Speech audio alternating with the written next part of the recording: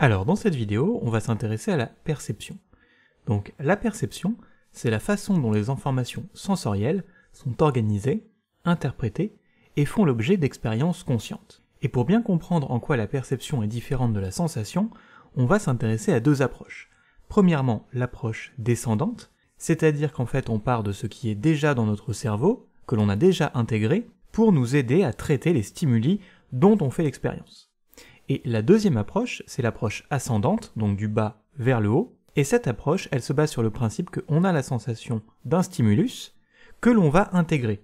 Donc vous voyez, l'idée c'est que l'on part de la sensation, on l'intègre, et cette sensation devient intégrée dans notre cerveau, dans notre perception. Donc par exemple, si vous êtes au restaurant, que vraiment l'ambiance est très très bruyante, vous entendez peut-être un peu de musique, des personnes qui parlent, des bruits de serveurs, mais cependant, à un certain moment, eh bien il y a vraiment un bruit qui va vous déranger, par exemple un serveur va faire tomber une assiette, et ce stimulus que vous n'aviez pas intégré, eh bien il part précisément de la sensation pour arriver jusqu'à une perception que l'on intègre. Un exemple d'une approche descendante consisterait par exemple dans le fait que l'on a perdu ses clés. Comme ce sont nos clés, on sait à quoi elles ressemblent, par exemple elles peuvent être rouges, et donc on utilise cette expérience passée, cette connaissance du fait que les clés soient rouges, pour tenter de reconnaître dans l'environnement général, et eh bien précisément les clés que l'on recherche. En fait, dans l'approche descendante, on part du connu pour nous aider à reconnaître des stimuli, alors que dans l'approche ascendante, les stimuli ne sont pas connus et donc on va les intégrer. Et ça c'est intéressant parce que ça nous montre précisément la différence entre la perception et la sensation.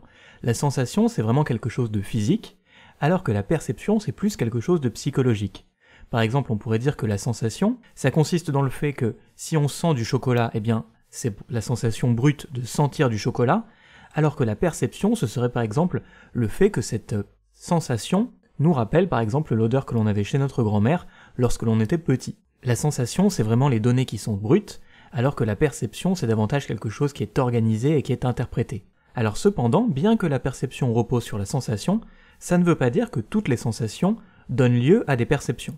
Puisque en effet, il y a un phénomène qui s'appelle l'adaptation sensorielle, et cette adaptation sensorielle, ça nous permet de filtrer toutes les sensations qui ne nous sont pas utiles. Ça, ça arrive très très couramment, par exemple si on habite près d'un chemin de fer et que le train passe régulièrement, eh bien on va finir par filtrer complètement le passage du train dans notre perception. Le train continue de passer, la sensation est toujours reçue par notre corps, mais cependant, notre perception fait le tri et nous dit que ce bruit de train qui revient régulièrement, eh bien ce n'est pas nécessaire d'en avoir conscience. De la même manière, lorsque l'on est dans une soirée et que l'on essaye de se concentrer vraiment sur une conversation en particulier, eh bien il peut y avoir un bruit de fond, il peut y avoir des conversations, de la musique, etc.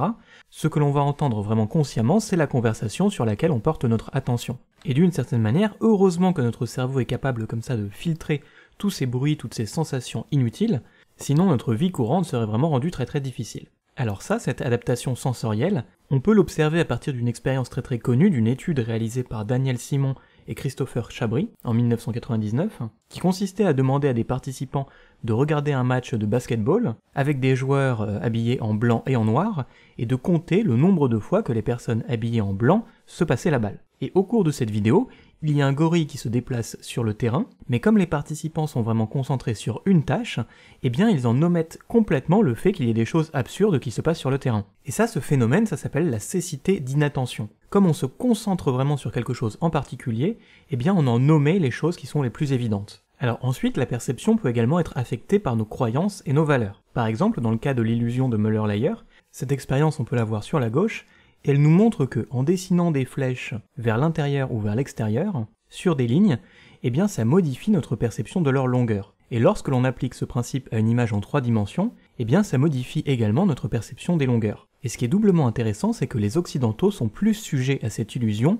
que d'autres peuples. Et ça, c'est dû au fait qu'en Occident, on a l'habitude de voir des constructions avec des lignes droites. Et comme on a cette habitude, eh bien généralement les lignes qui se situent plus proches de nous comme elles se situent plus proches de nous, elles doivent être plus petites que des mêmes lignes qui se situent plus loin et qui en apparence ont la même taille. Alors que par exemple pour un autre peuple, par exemple les Zoulous en Afrique du Sud, eh bien comme eux ils ont une architecture qui est plutôt ronde, ils sont moins sujets à cette illusion.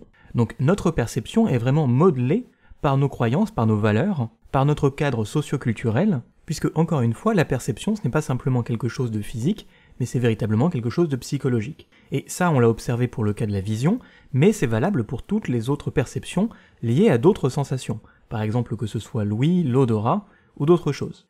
Donc voilà, on en a terminé avec cette petite présentation de la perception, j'espère que ça aura pu vous intéresser, si c'est le cas, n'hésitez pas à laisser un like et à vous abonner, et puis on se voit dans une prochaine vidéo.